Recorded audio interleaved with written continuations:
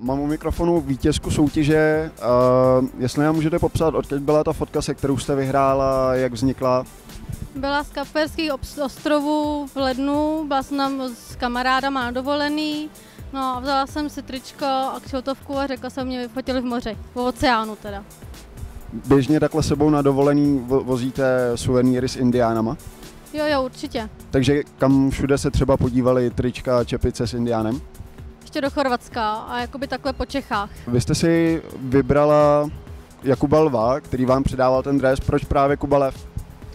Tak líbí se mi jeho hra, jak hraje a teď je momentálně v reprezentaci, takže kvůli tomu. Sledovala jste jeho zápasy v reprezentaci, jak se mu dařilo? Určitě, no, krát, že ho trenér moc nestavil.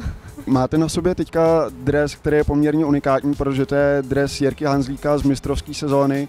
Uh, jak s tou cenou naložíte? Bude putovat na zeď nebo v něm budete chodit na hokej? Asi na zeď. Na, na hokej mám normálně svůj, to mám uh, jak, uh, toho Jana Kováře, no, takže to jsem asi na zeď.